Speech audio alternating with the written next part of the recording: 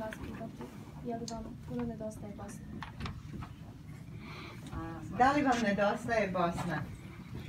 Nedostaje i kako i zato sve moje pjesme, mene kad pitaju da se predstavim kad ovako nekom uh, ko sam, ja kažem ja sam Suada koja poeziju piše, a svaka pjesma je Bosnom miriše. Baš zato što mi nedostaje Bosna, ja nju nekako opisujem stalno i stalno mi u srcu i na mojim stranicama knjiga i tako dalje. Još pitanja, jel ima? Mogu li ja da nastavim? Dakle, pošto su i djeca nešto pripremila ovaj, za vas, a ne samo ovaj, da, da, da, da će nam danas Suada govoriti.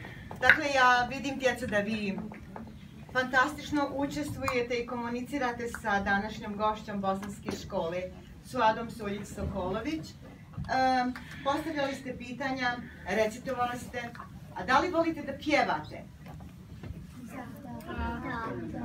I koja je vaša omiljena pjesma na bosanskom jeziku?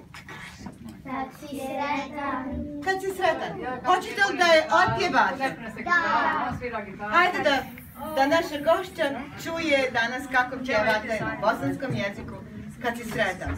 kad si sretan, bravo. Hadi buono.